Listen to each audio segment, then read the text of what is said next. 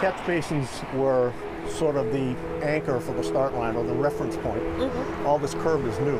When you grow up in Hopkinton like Jack LeDuc and spend 36 years painting the iconic Boston Marathon start line, you've earned the right to walk like you own the road. Nobody's ever said you can't do that or we'd, we'd rather have you do that. He got his start with the BAA volunteering in 1981, making a sign to honor the late two time marathon winner, Johnny Kelley, on Kelley's 50th Boston Marathon. Every year after that, the plum assignment to paint the start line across Main Street. You know, it was the best kept secret in town about what's this line going to look like? A banner in Hopkinton colors, green and white, just two feet wide. And year after year, his children chipped in. And here's something almost nobody knows. At the 100th Boston Marathon, I made the, the line, I was painting then, I made the line 100 inches thick.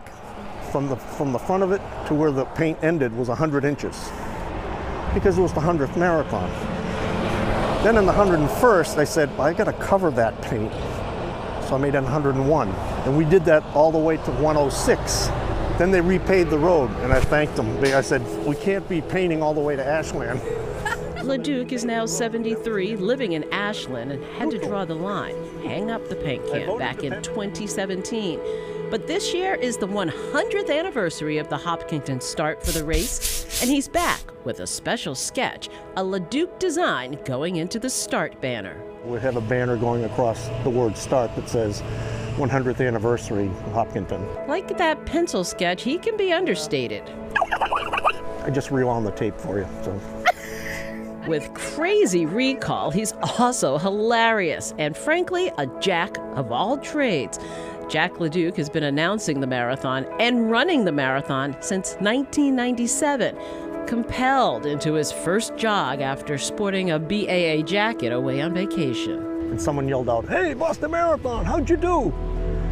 And I was so embarrassed, and I said, "I can't say I don't run." He has finished 15 Boston races and even painted several finish lines. Driving to Boylston Street, harder for him than the run. They had all the stencils in the back and the paint. I stopped and asked the cop. I said, uh, "I don't want to sound stupid. Can you tell me where the Boston Public Library is?" He says, "Do you know where the Boston Marathon finish line is?" I said, "It's in the back of my truck. I want to know where to put it." His main job was director of facilities for a healthcare center, but he works as a handyman and he once did wedding DJing. You have to paint him with a broad brush. You know, I've, I've done a lot of volunteer work here in Hopkinton aside from the marathon. Do you kind of miss them saying, hit the road, Jack? Oh, clever! Did you write that yourself? Of course. No, I don't miss that at all. I don't miss it. I don't look back. I mean, it's fun to look back, but I don't dwell on it.